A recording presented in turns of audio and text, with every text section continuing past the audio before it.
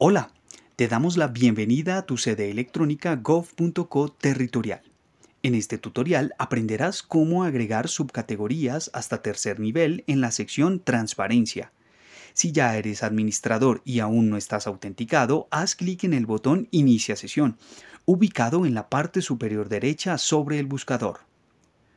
Serás dirigido al portal Autenticador Digital, con el cual puedes ingresar a tu sede electrónica debes escribir tu número de documento o correo electrónico, contraseña y hacer clic en Iniciar sesión.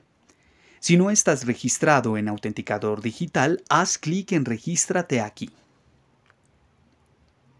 Accede a la sección Transparencia y acceso a la información pública.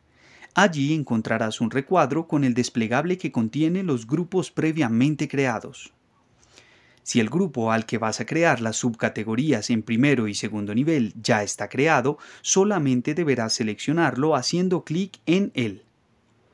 En caso contrario, escribes el título del grupo y haces clic en el botón Más. El nuevo grupo quedará creado.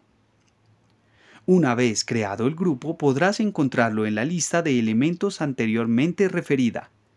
Luego encontrarás la lista de elementos llamada subgrupo, Allí podrás crear la categoría en segundo nivel que requieras. La página se recargará, permitiéndote seleccionar el grupo y subgrupo que ya se encuentran creados. Ya tienes todo listo para crear tu categoría en tercer nivel. Una vez la página se actualiza, vuelves al cuadro de publicación, localizas grupo, subgrupo y de la misma manera podrás crear la categoría en tercer nivel, al igual que creaste el subgrupo anterior. Ahora podrás encontrar en la lista de grupos el botón de las tres categorías recién creadas, haciendo clic en el icono desplegable. Hemos aprendido cómo agregar subcategorías hasta tercer nivel en la sección Transparencia.